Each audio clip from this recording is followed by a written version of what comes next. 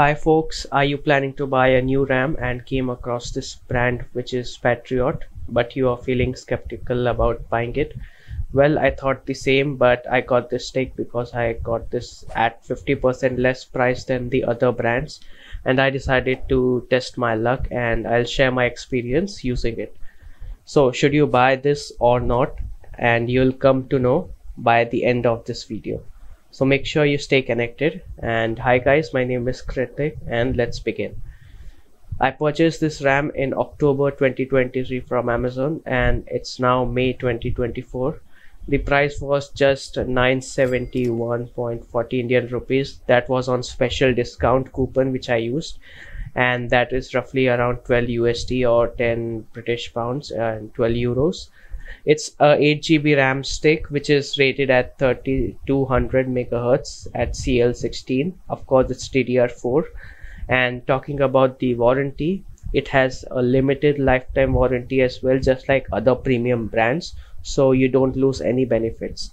What I really liked about this out of the box was its heavy duty heatsink the other RAM which I have is G.Skill Ripjaws which has a bit plasticky kind of heatsink compared to this Patriot RAM which has a really good and heavy duty heatsink. In terms of build and durability, I liked it more than the G.Skill Ripjaws 5. Now I went ahead and installed it and started my system which was pretty smooth and no blue screens at all. Discussing about the compatibility now, from October, I never had any blue screen or any crashing issue during gaming or processing any videos. I have G.Skill and Patriot both running at 3200 MHz without any problems and lag. If you get this into same situation, make sure you set the timings correctly on your profile in the BIOS and the timing rating should match with the RAM you already have in your system. The RAM is running in 1 to 16 ratio perfectly fine since it matches the timings and rating with the other RAM which I have. Now let's talk about the hardware since I got it for very less price and was not a very popular brand among PC builders in this part of the world. I was not expecting to have its DRAM chips to be from a good manufacturer but to my surprise it, this stick has the RAM chips from Micron Technologies let me tell you it's the same company who has their own brand crucial and the first one to bring ddr5 in the market which is really very good deal. So this was never expected but i'm very happy with this ram now.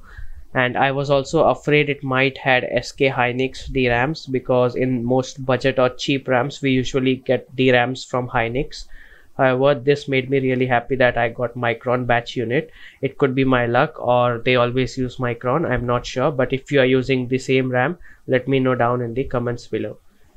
Let's talk about some gaming performance now. I play CSGO, Microsoft Flight Simulator 2020, X-Plane 12, American Truck Simulator and there has never been any problem after adding this RAM to my system. On high gaming workloads, this RAM never gave up and everything has been completely smooth. Talking about multitasking, which I sometimes do like playing some games in the background, like in Microsoft Flight Simulator after starting a flight, I can edit my videos or do some other task. That was also never been any problem or no crashes in multitasking as well, which is really, really good. Overall, buying this RAM turned into a very good trust now and in future I will not refrain from buying this brand RAM stick again. After watching this video, I'm sure you got your answer and there's no need to worry you can go ahead and buy this RAM. The purchase link is in the video description and I hope everything is covered in this video regarding this RAM. If you still feel I missed something, you can ask me in the comments down below and I'll reply back as soon as possible. Please make sure to like this video and share it to the PC group so others get their answer to their questions for this RAM stick. Until next video, have a great time ahead, stay safe and thanks for watching this video. Have a great day. Bye-bye.